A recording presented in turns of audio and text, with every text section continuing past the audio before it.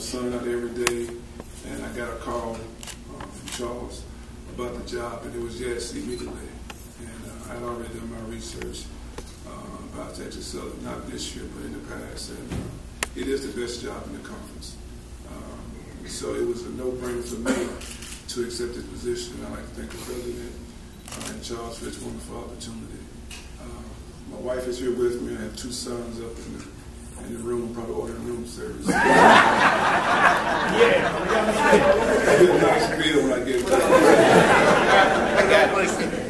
I love Houston. Houston is a basketball city. Yeah. Great basketball.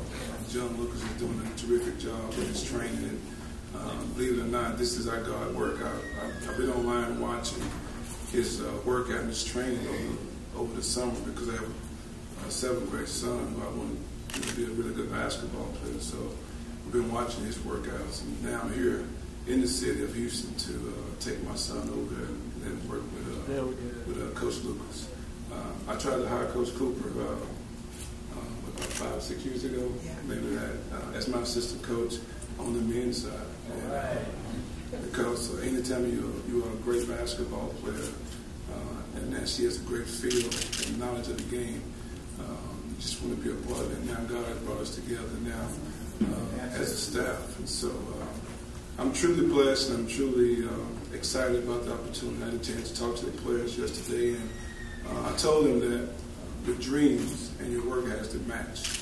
And if they doesn't match, then you're just kidding yourself. And so my vision for this basketball program is to to not only win a, a SWAC championship, but also have the highest GPA uh, in the SWAC. And, uh,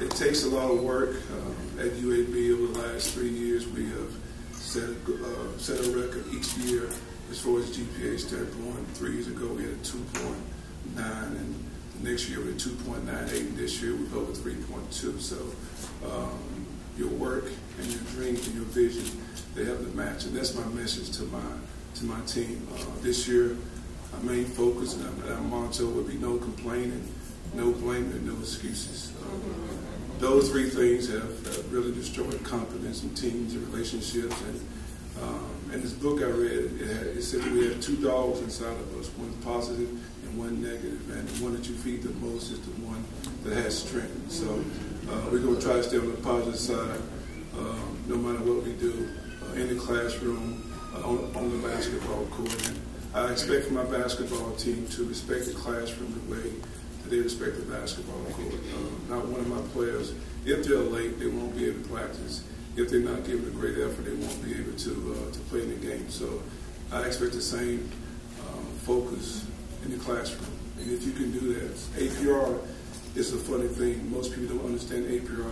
APR is that you have to have a 2.6 GPA for it not to hurt you. It's not, it's not, it's not about retention. It's not about being eligible.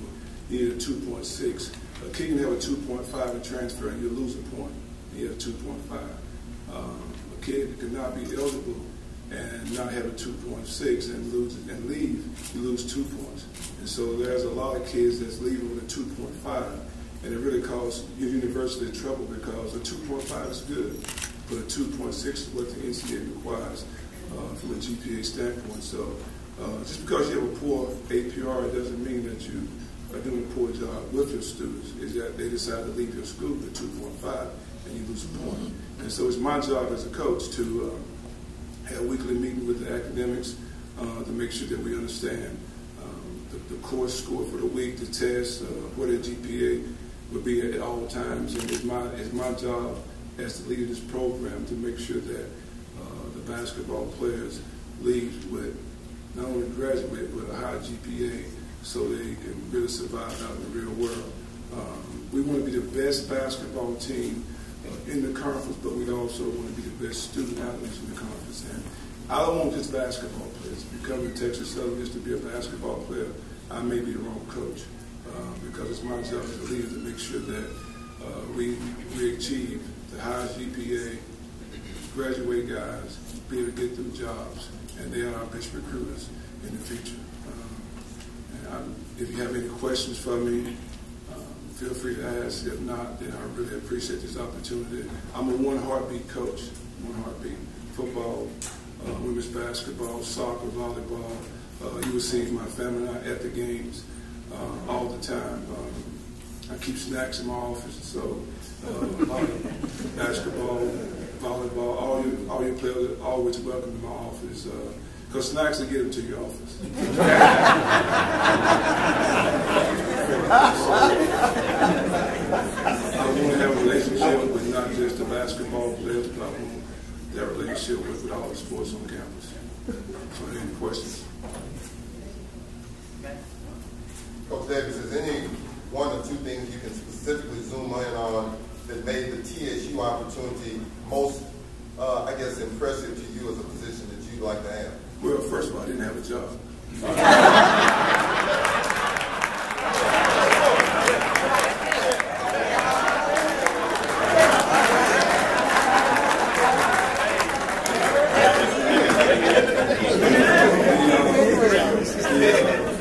the greatest gift God gives us is time in our minds. And I didn't want to waste time sitting around doing anything, so that's why I really started working my son out. And uh, we all get 168 hours a week. And so when the call was made for me then, when Charles called me, I think he was surprised. I really do. I think I think I surprised him uh, because he uh, he offered me a job on an interim basis, and I'm like, yes, you know, because uh, I want to be a great leader. I want to be a great leader, and uh, being a great leader is it's, it's a lot of work, a lot of practice, it's a lot of ups and downs, and um, I want to lead young men. Uh, I want to make sure they go out and into society that they can look back and say, you know, Coach Davis did a great job with me. And so um, this is the best job, hands down. Facilities, uh, my office that I have now is better than the office I've ever had.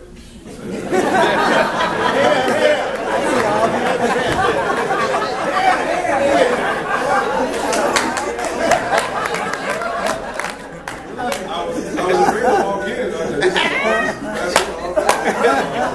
I went into the, to the women's locker room, and, and Charles was like, "Well, we waited for you to come to, to see what you want." I said, "I want this." and everywhere. So uh, it was it was beautiful, and, and this is a great opportunity for me as a coach. And I've had radio interviews over the last couple of days uh, asking me why would I come and take the show. Like, why not? You know, uh, big time. Big time is not where you are. Is is is, is what you think you and, and, and how you they do it. The best meal I've ever had went from a five star restaurant in New York, California. My best meal came from my grandmother in Fayetteville, Alabama. So uh, Talk, that meal man. was the best meal ever. And Yeah, you yeah. know, tasting that meal would have felt the same way. So that's big time. And uh, I feel like I'm in the big time because I'm going to do it the right way. Any other questions? Yes, uh, uh, Coach, what, um, what can we do for you um, as a community uh, at large in Houston and also as uh, alums of um, uh, the greatest school on planet Earth or on the moon or Saturn or Pluto? uh, what can we do for you to help you uh, be number one? No man is an island that stands alone. But the first thing you do is keep my son and my wife out of the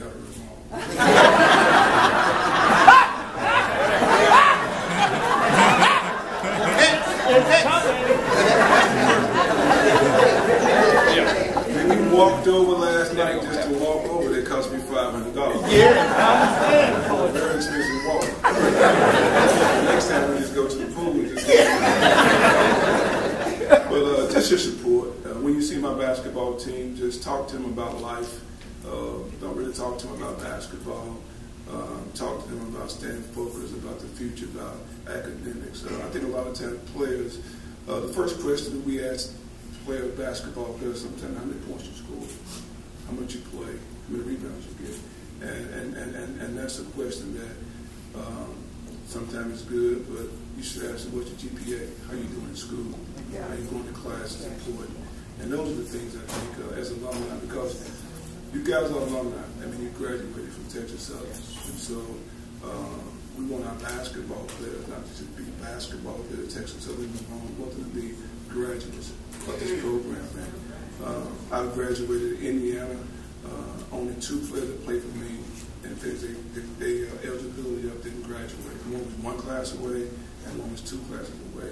And the one that was one class away, um, he came and stayed in my house after he finished his eligibility because I wanted him to get his degree. I put his mother that he would get his degree. And so it's all about the future. It's not about basketball. Uh, it's about if, if you're 21 when you finish, and if you're fortunate to have a, a career plan, you're 31, you still have to live a long time. And as I told my players today, you know, time is the, is so so important. I'm 51 years old now, and um, if I live to be 80, I have 29 summers left in my life, and so I have to take advantage of, of, of, of every summer. And so do they. They don't understand that. They don't understand that. Uh, they only have three or four summers left in their college career, some one, some two, some three.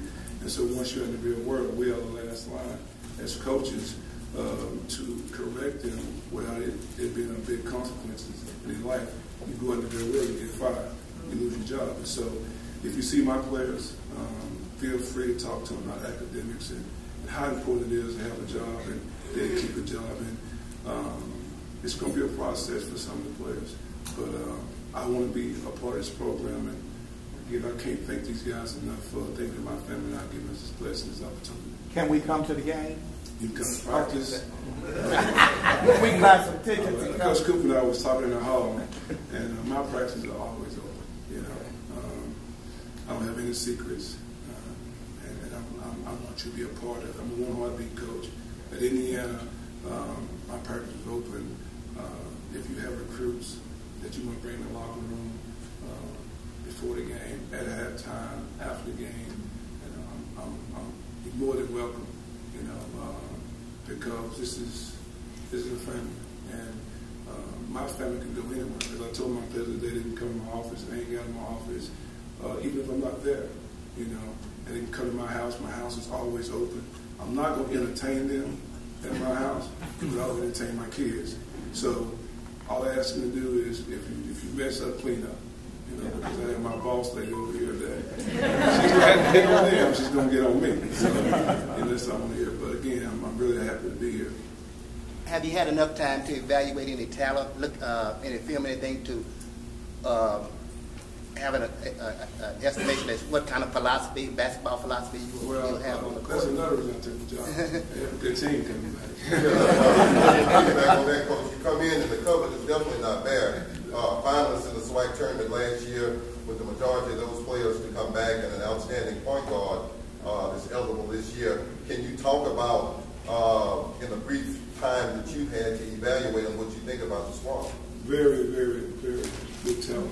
As a basketball coach, um, I think talent is always underrated. I think because talent wins championships. Um, uh, I think that the team that I had to play for the national championship, I had three guards on my team that never dunked a basketball their whole college career. You know, it's all about heart, it's all about effort, it's all about knowing what you're doing. And, and, and there's two things that upset me, uh, two things I asked from my basketball team. Give great effort and always know what we're doing. You always prepared. If you do that on the basketball court, should do something in the classroom. If you prepare and get effort in the classroom, you have a chance to win. Same in the basketball court. Uh, we do have, from what I've seen on tape, very good talent. But it's my job as, as the leader of this program to make sure that we are the hardest playing team in the conference. Uh, we play Michigan State, we play Northwestern, uh, we play uh, Colorado. You don't beat those guys in November. Win those games now. That's how you prepare it. It's your approach now. You, you can't get that fired up or that hyped up to beat a team like that if you're not prepared. So uh, my message to them was, they're going home, run, work, we come back, when school start, we're going to work out. I film every practice, I film every workout. Uh, I watch practice tape like I watch a game tape. So um, it's my job to prepare them, but it's their job also to give great effort. Coach, uh, First and foremost, um, welcome to Tigerland. My name is Chris LeBlanc, class of 1996. And do you have any, uh, have you done your homework on the Southwestern Athletic Conference with some of the perennial powerhouses within the basketball realm of the conference? Well, I have to be prepared. That's that's, that's my thing. Uh, I wouldn't have taken this job unless it was the best job in this conference. Um, and we do have good talent. We have very good basketball teams in this conference, especially on the road. And as a, as a coach, the one thing coaches understand, you have a really good basketball team, and you can play the same no matter where you are. No matter what basketball court you go on, you have a really good basketball team. Your team can play the same way. And so I want my basketball team to be hard nosed, play hard, play together uh, on the road as well as home. The home crowd can get you going at home, but when you're on the road, I want, I want those players to play the same way at home and the road. And that's when you really have a good basketball team. You can walk into a good arena and, and focus and play uh, with the same passion, with the same energy, and the same concentration. Thank you, Coach. Yeah.